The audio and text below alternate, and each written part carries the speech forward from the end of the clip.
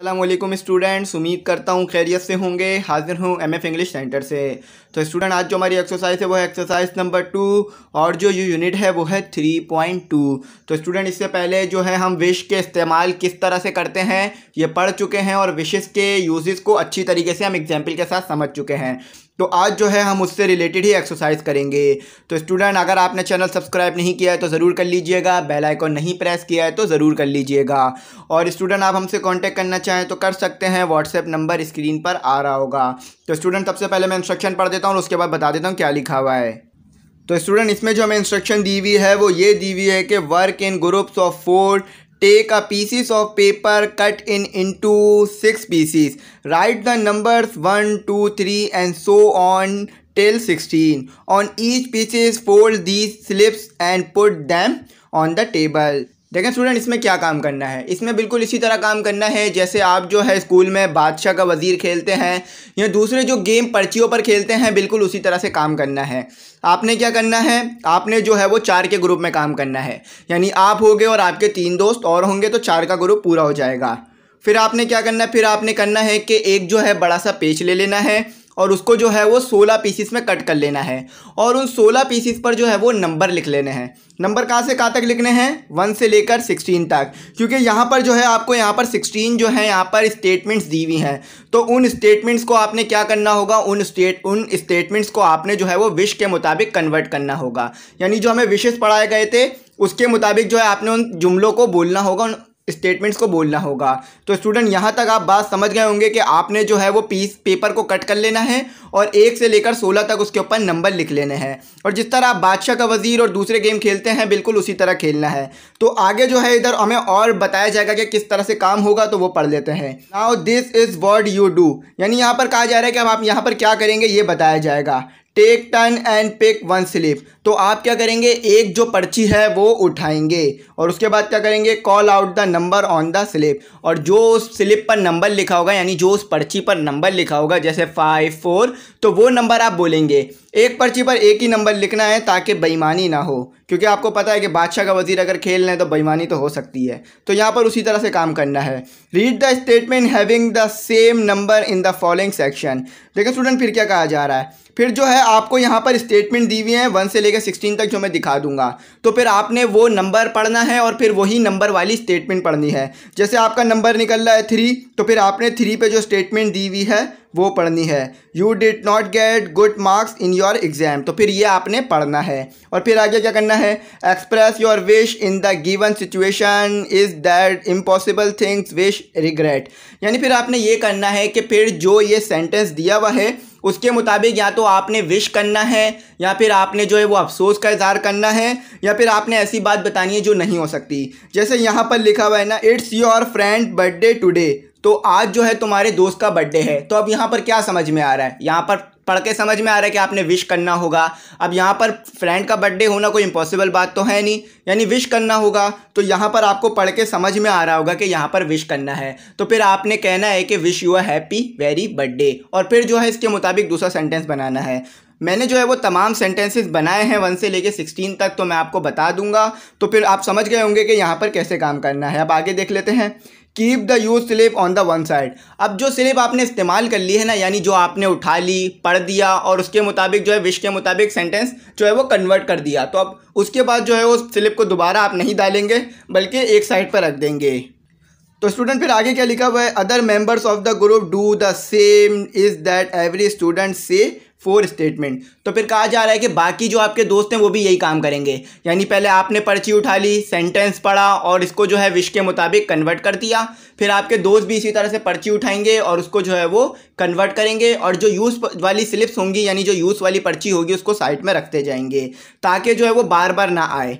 तो उम्मीद करता हूँ, यहाँ तक समझ गए होंगे। अब सातवा देख लेते हैं। If there is time you can play this game all over again यहाँ पे कहा जा रहा है कि अगर आपके पास टाइम हो तो आप ये जो है गेम बार बार खेल सकते हैं। यानी ऐसा नहीं है कि पूरी क्लास में बैठ के यही गेम खेलते रहना है। बल्कि जो है आधा घंटा दे दें, एक घंटा दे दें वैसे तो आपका टीचर आपको ये करा देगा, लेकिन अगर आपका टीचर आपको डायरेक्ट करा देता है तो आप जो है वो गेम की तरह ये कर सकते हैं। तो मैं तो है आपको डायरेक्ट पढ़ा रहा हूँ, लेकिन आप चाहें तो ये गेम की तरह खेल सकते हैं। तो स्टूडेंट बताइएगा कि किस तरह से आपको समझ में आया है तो हमारी अप्रिसिएशन के लिए ज़रूर जो है कमेंट सेक्शन में मैसेज कर दीजिएगा। तो चले मैं एग्ज़ाम्पल पढ़ देता हूँ, और उसके बाद जो है वो सेंटेंस पढ़ना शुरू करता हूँ, और उसके बाद मैं आपको दिखा देता हूँ कि इसका क्या जो है वो विश के मुताबिक कन्वर्ट होगा।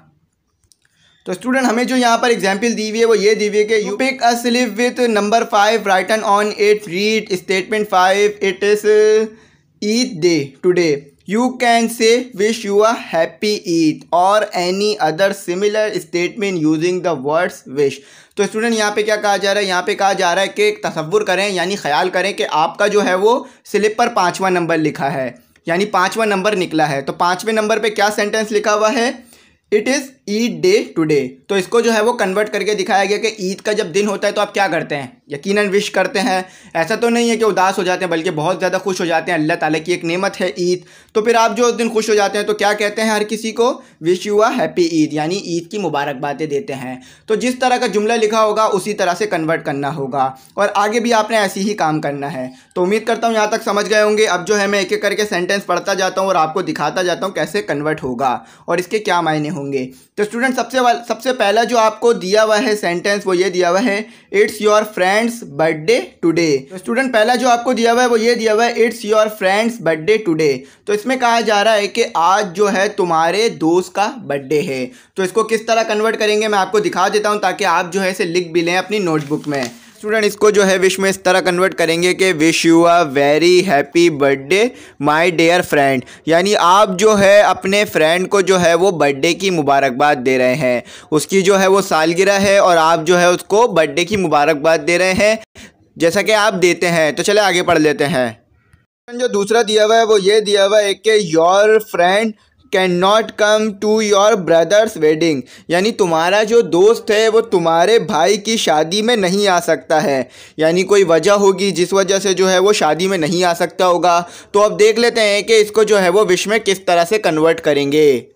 स्टूडेंट इसको इस तरह से विश में कन्वर्ट करेंगे कि दुख का इजहार करेंगे, यानी अफसोस करेंगे और कहेंगे कि I wish my friend had been my brother's wedding यानी इसमें कहेंगे कि, मैं चाहता हूँ कि मेरा दोस्त जो है वो मेरी भाई की साथ मेरे भाई की शादी पर आ जाता। यानी वो जो है वो नहीं आ सका। तो उम्मीद करता हूँ समझ गए अब दूसरा, तीसरा देख लेते हैं। स्टूडेंट, तीसरा जो है आपके पास वो ये है कि you did not get good marks in your exams तो इसमें कहा जा रहा है कि तुमने जो है वो अच्छे नंबर नहीं हासिल किए हैं अपने एग्ज़ाम में. अब देखिए, कोई बच्चा जो है वो अच्छे नंबर अगर एग्ज़ाम में हासिल नहीं करेगा तो उसे अफसोस ही होगा. तो विश को किस तरह से अफसोस के लिए इस्तेमाल करेंगे, यानी रिग्रेट के लिए तो वो देख लेते हैं. तो स्टूडेंट इसको जो है विश में इस तरह इस्तेमाल करेंगे कि I wish I got good marks by doing hard work यानी हमें कहा गया कि तुमने जो है अपने अच्छे नंबर हासिल नहीं किए एग्ज़ाम में तो इसमें मैं कहूँगा कि विश लगा के, यानी अफसोस का इजहार करूँगा और कहूँगा कि मैं चाहता हूँ या मेरी ख्वाहिश है कि मैं जो है वो मेहनत करता और अच्छे नंबर हासिल कर लेता एग्ज़ाम में। तो उम्मीद करता हूँ समझ गए होंगे, अब चौथा देख लेते हैं। तो स्टूडेंट चौथा जो है हमारे पास वो ये है कि your cousins are going to Gilgit for their holidays तो अब आपका जो दोस्त है वो हॉलीडे बनाने गिलगित जा रहा है। यानी वो जो है वो खुश होगा। तो आप अफसोस का इजहार तो नहीं करेंगे ना आप। अगर अफसोस होगा तो इस बात का होगा कि आप नहीं जा रहे हैं। लेकिन वैसे तो आप खुशी होंगे कि आपका जो है कज़न जो है वो जा रहा है। तो आप उसको क्या कहेंगे? विश लगा के देख लेते हैं। तो स्टूडेंट यहाँ पर जो विश का इस्तेमाल है वो विश करने के लिए होगा। यानी मुबारकबाद देने के लिए होगा।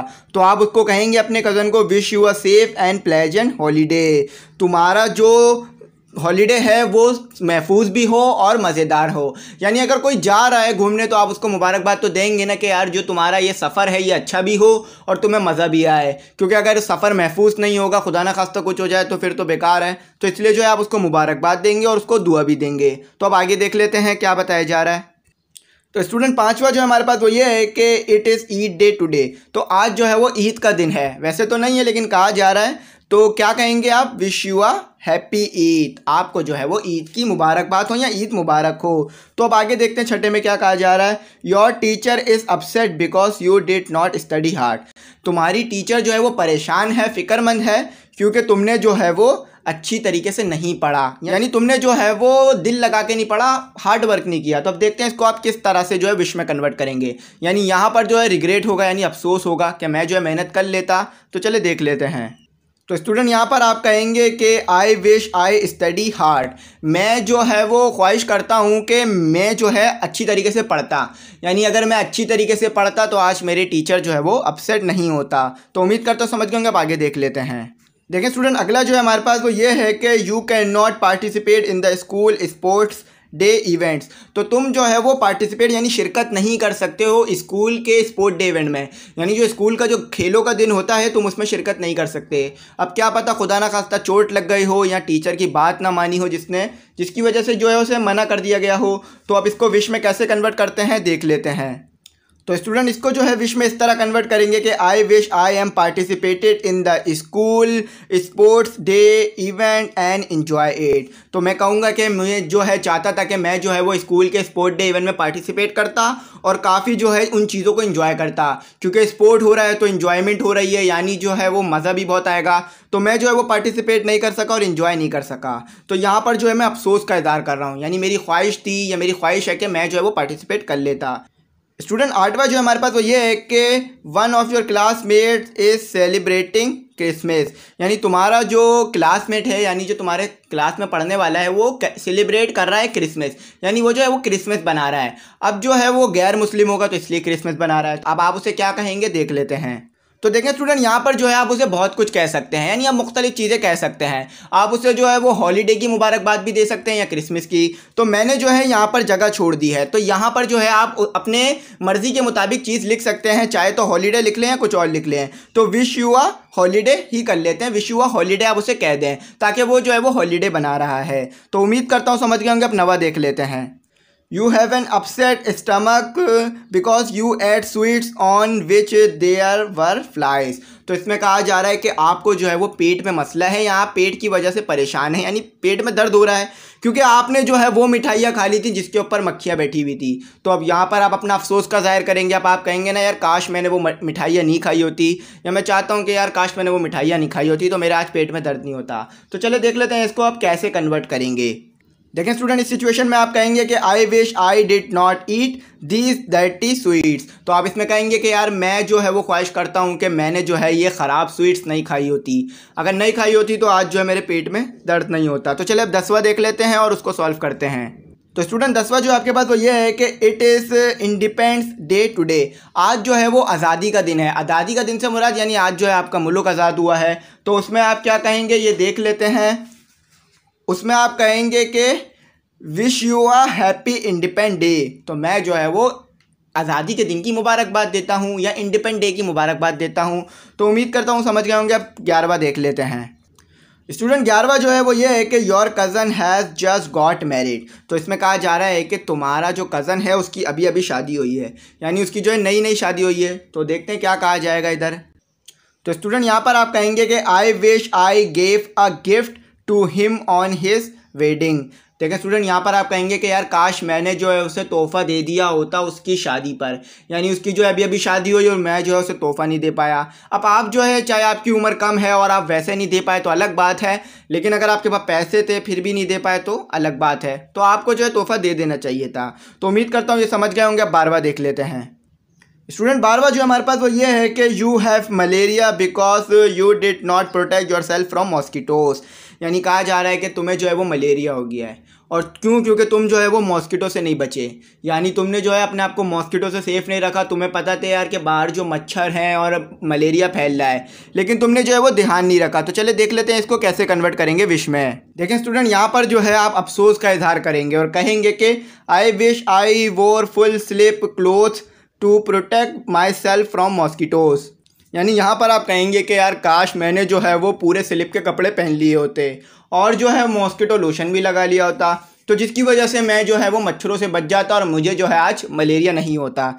यानी अगर अगर मलेरिया चल रहा है और आप जो है वो फुल स्लिप कपड़े ना पहने तो मच्छर काट लेता है। तो जिसकी वजह से मलेरिया हो जाता है। तो चलें, आगे देख लेते हैं जो स्टूडेंट तेरवा जो है आपके पास वो ये है कि one of your close friends is going to Dubai यानी इसमें कहा जा रहा है कि आपका जो एक करीबी दोस्त जो है वो दुबई जा रहा है। अब वो दुबई जा रहा है तो आप जो है उसे मुबारकबाद ही देंगे दुबई जाने पर। तो देख लेते हैं आप किस तरह से कहेंगे। तो स्टूडेंट आप कहेंगे कि wish a happy journey to Dubai यानी तुम्हारी जो दुबई की जर्नी है वो जो है काफ़ी अच्छी हो और तुम जो है, तुम्हारे लिए जो है वो फ़ायदेमंद रहे। तो उम्मीद करता हूँ समझ गए होंगे आप आगे पढ़ लेते हैं। स्टूडेंट फोर्टीन जो है वो ये है कि योर ब्रदर और sister is going for a job interview यानी आपका जो भाई है और सिस्टर जो है वो जॉब इंटरव्यू के लिए जा रहा है. यानी नौकरी के लिए जा रहा है, नौकरी का इंटरव्यू देने के लिए जा रहा है. तो जब कोई इस तरह जा रहा होगा तो आप उसे मुबारकबाद देंगे. तो यहाँ भी आप विश ही करेंगे कि यार तुम्हारा जो है वो इंटरव्यू सक्सेसफुल और तुम्हें जॉब मिल जाए. तो देख लेते हैं आप इसे कहेंगे किस तरह विश लगा के. तो स्टूडेंट आप कहेंगे कि I wish your interview will be successful यानी आप यहाँ विश करेंगे और कहेंगे कि यार मेरी ख्वाहिश है कि आप दोनों का जो इंटरव्यू है वो सक्सेसफुल रहे और आपको जॉब मिल जाए। तो उम्मीद करता हूँ फोर्टीन तक समझ गए होंगे, अब दो रह गए वो भी पढ़ लेते हैं। तो स्टूडेंट फिफ्टीन जो है वो ये है कि your neighbours are celebrating Diwali. यानी आपके जो पड़ोसी हैं वो सेलिब्रेट कर रहे हैं दिवाली। ये जो है एक त्यौहार है जो कि हिंदुओं में बनाया जाता है। तो देख लेते हैं कि आप उस वक्त क्या कहेंगे। स्टूडेंट इसमें भी आप कहेंगे कि wish you a happy holiday या आप जो है कोई और मजहबी त्यौहार है तो वो भी लगा सकते हैं। लेकिन यहाँ पर जो है आप हॉलीडे की मुबारकबाद भी एक तरह से दे रहे होंगे। तो स्टूडेंट उम्मीद करता हूँ ये आपको समझ में आ गया होगा। आप आगे देख लेते हैं। स्टूडेंट सिक्सटीन जो है वो काफ़ी इंटरेस्टिंग है। तो पढ़ लेते हैं क्या लिखा हुआ है। There is no electricity and you can not watch an interesting cricket match लेकिन स्टूडेंट इसमें कहा जा रहा है कि आप जो है वो एक इंटरेस्टिंग मैच देख रहे हैं। यानी आप जो है एक बड़ा दिलचस्प मैच देख रहे हैं, यानी मैच जो है वो आखिरी लम्हात में है, कोई भी जीत सकता है। लेकिन उसी वक्त जो है वो बिजली चली जाती है और बिजली नहीं है। तो अब बिजली नहीं होगी तो आप मैच तो वैसे भी देख नहीं सकते हैं, क्योंकि टीवी चलेगा नहीं। लेकिन अगर आपके पास मोबाइल है तो आप उससे भी देख सकते हैं। तो देख लेते हैं कि इस वक्त आप क्या कहेंगे।